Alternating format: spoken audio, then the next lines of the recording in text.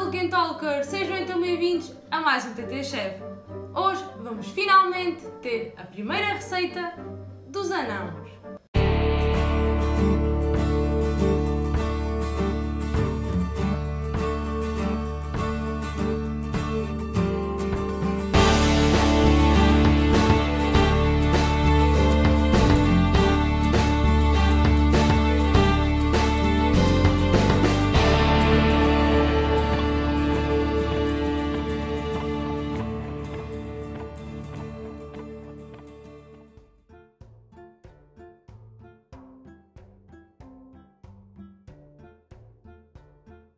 Mas antes de passarmos ao nosso vídeo, vocês já sabem como é pessoal, deixem já um grande gosto neste vídeo, subscrevam ou inscrevam-se aqui no canal e ativem também o sininho das notificações para estarem sempre a par quando saírem vídeos novos.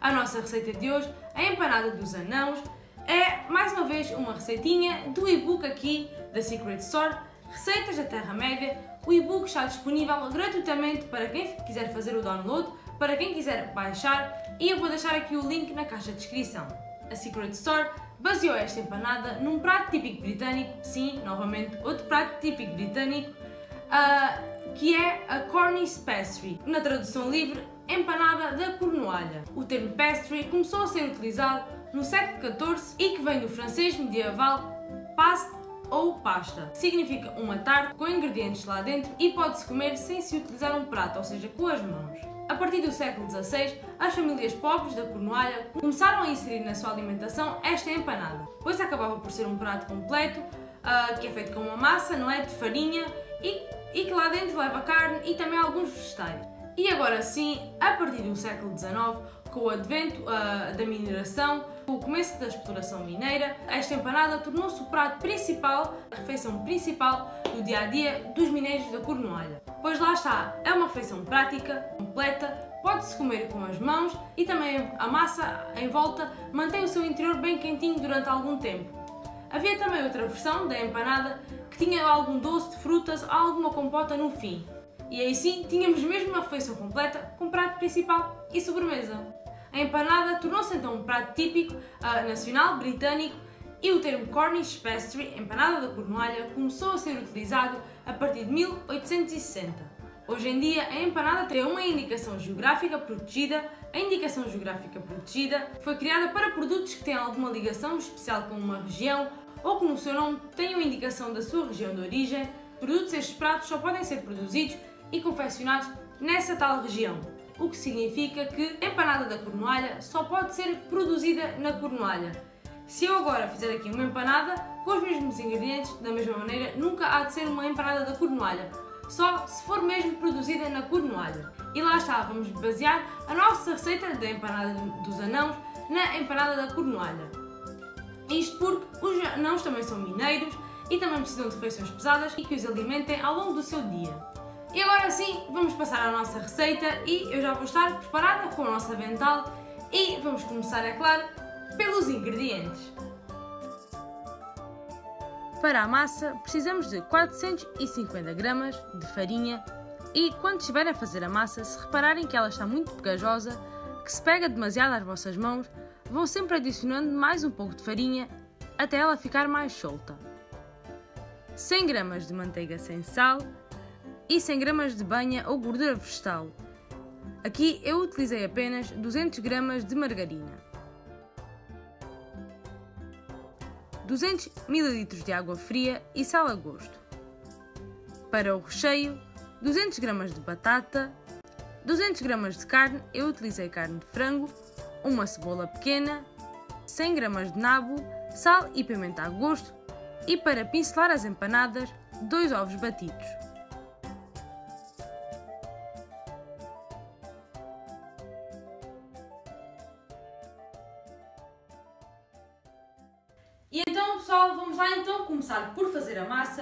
Vamos ter de fazer é adicionar a farinha, a manteiga, uma pitada de sal e água nesta tigela e vamos fazer a massa.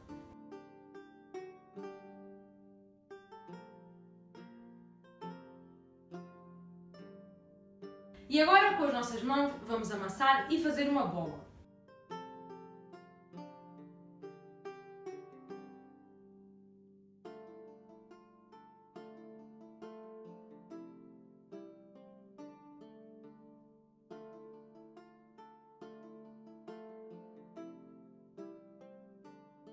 Já temos aqui então a nossa massa pronta e o que vamos fazer é envolvê-la em película aderente e deixá-la 30 minutos no congelador.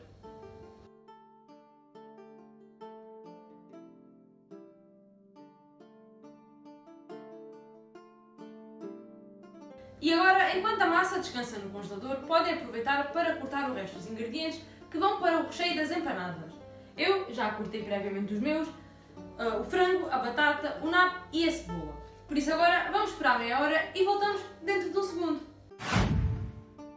Já tirámos então a massa do congelador e entretanto pré-aquecemos o forno a 180 graus. E agora o que é que vamos fazer? Agora vamos dividir a nossa massa em 6 bolinhas, esticamos as bolas com o rolo da massa para ficarem redondas.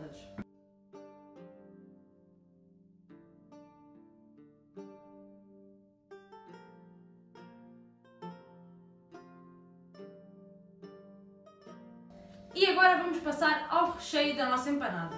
Primeiro vamos colocar nabo e cebola numa metade apenas da empanada. Colocamos um bocadinho de sal e pimenta, depois colocamos a carne e por cima um bocadinho de batatas e temperamos também outra vez com sal e pimenta.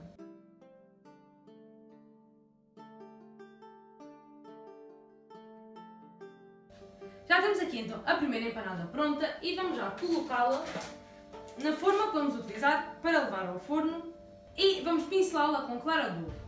E agora é só repetir o processo até acabarmos a massa ou os ingredientes.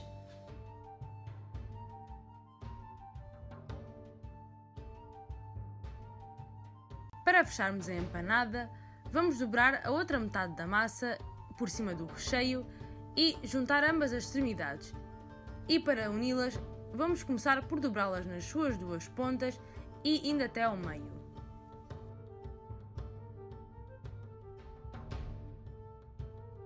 E aqui estão as empanadas. A massa deu ao todo para 6 empanadas e agora vamos colocá-las no forno.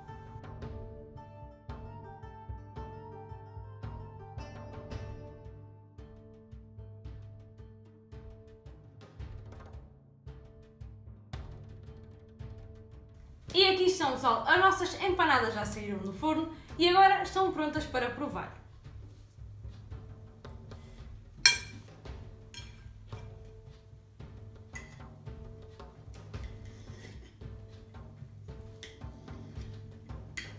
Ainda parecem estar bem quentinhas.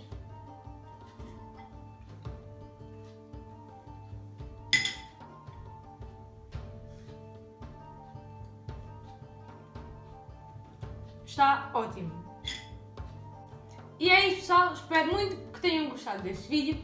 Por isso, se ainda não fizeram, deixem like, comentem aí embaixo o que acharam e subscrevam aqui o canal. Não se esqueçam também de nos seguir pelas nossas redes sociais, pelo Facebook, pelo Twitter, pelo Instagram. Sigam também o nosso blog e juntem-se a nós no grupo de discussão do Facebook, o Dragão Verde. Sigam também as páginas parceiras do canal, os links vão estar todos aqui em baixo na caixa de descrição. E tem mais duas formas de poder ajudar o canal. Pessoal aí no Brasil, se quiserem comprar livros através da Amazon, façam-no utilizando os links do TT. E também se podem tornar padrinhos ou madrinhas aqui do canal, ajudar com uma certa quantia monetária e sem qualquer compromisso. Por hoje, ficamos por aqui. Espero muito que tenham gostado deste vídeo. Vemos no próximo e um grande beijinho!